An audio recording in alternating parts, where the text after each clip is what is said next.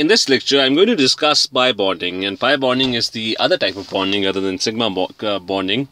Uh, there are two types of covalent bonds. One is sigma, and this one is pi. We have uh, discussed sigma bonds in a previous lecture, so we're going to move on to pi bonds.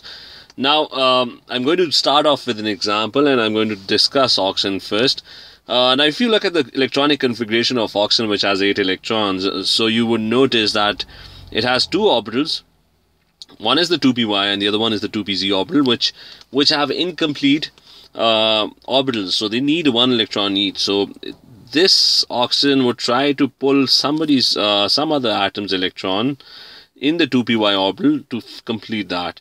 And there's another 2pz orbital which uh, needs an electron. So so oxygen needs two electrons.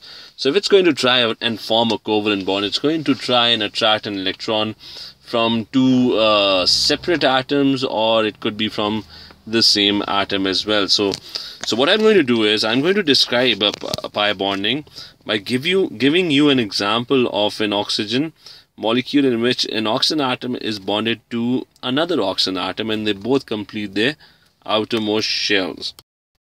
Now i've drawn two oxygen atoms uh, and I've only shown shown the 2py and the 2pz orbitals because they are involved in bonding. They need one electron. So, so this is one oxygen atom over here, and this is uh, in the center. This is the nucleus, and there's the the green one is the 2py orbital. Now, if you look carefully, if these two oxygen atoms get sufficiently close together, what's going to happen is that the 2py orbitals, this oxygen needs, uh, if you look at the left-hand oxygen, it needs one electron in its, in its 2py orbital. So it's going to try and attract the electron from the other oxygen atom. And the right hand side oxygen atom is going to try and pull the electron from the the oxygen atom on the left hand side. So the two two py orbitals are going to merge.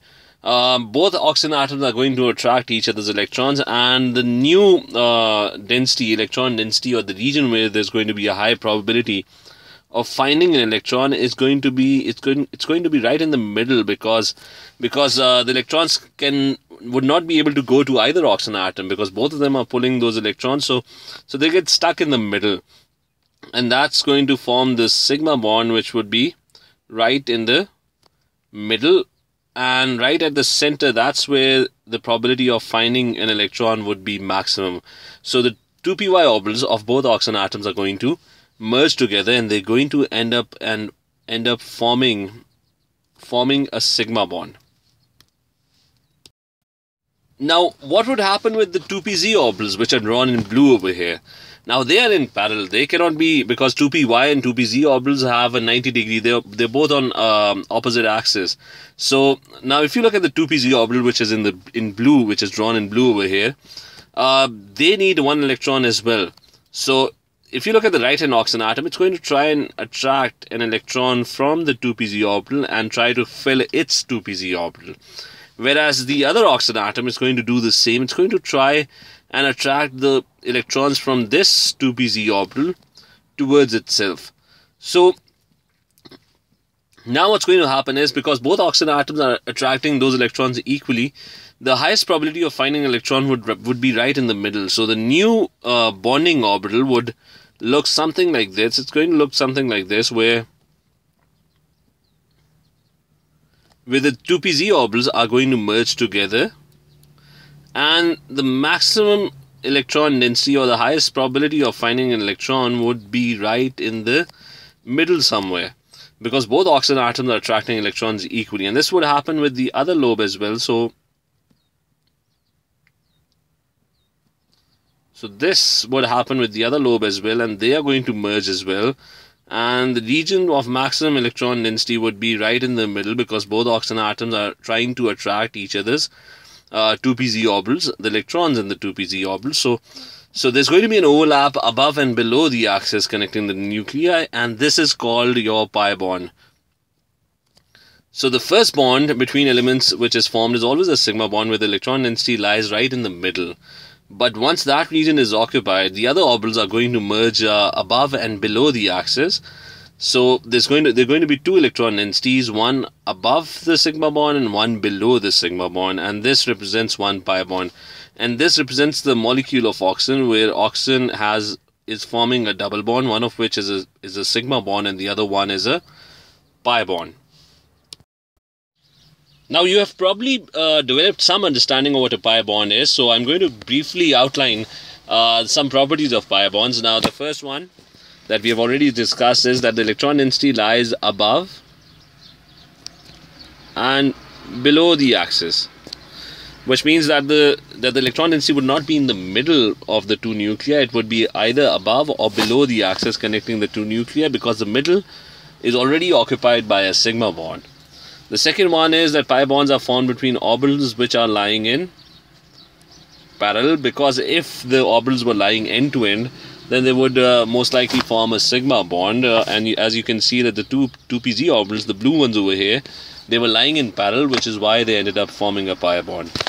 The third point is that the that rotation is is not possible across a pi bond which means that this molecule cannot uh, twist. It cannot uh, one side of the pi bond cannot rotate independently because they are now locked in place. If you try to rotate only one side then you would have to get rid of the pi bond. So it's not possible to rotate uh, for example if I want to rotate this side and I want to uh, uh, sort of turn the 2pz orbital in some other direction I would not be able to do that because the entire molecule is now locked in place.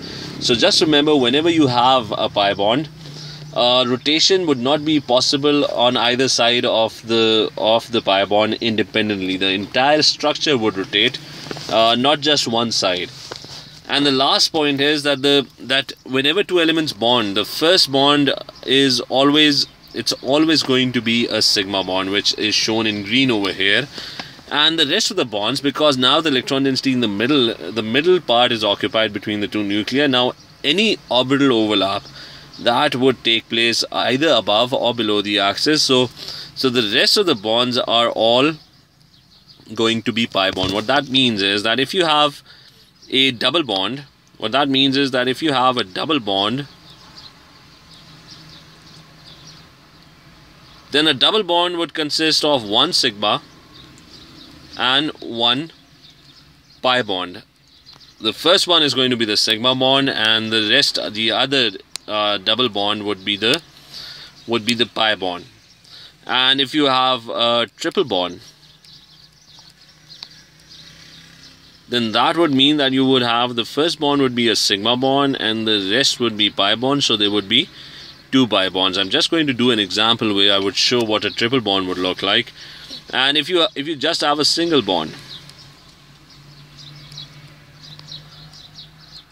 then in that case that would suggest that there's only one sigma bond. So the so between two elements, I'm not talking about all the bonds. I'm just talking about uh, the amount of bonds formed between two elements. So if they're making a single bond, that's only a sigma bond. If they're making a double bond, that's one sigma plus one pi and if they're making a triple bond the first one is going to be the sigma and the other two bonds are going to be pi bonds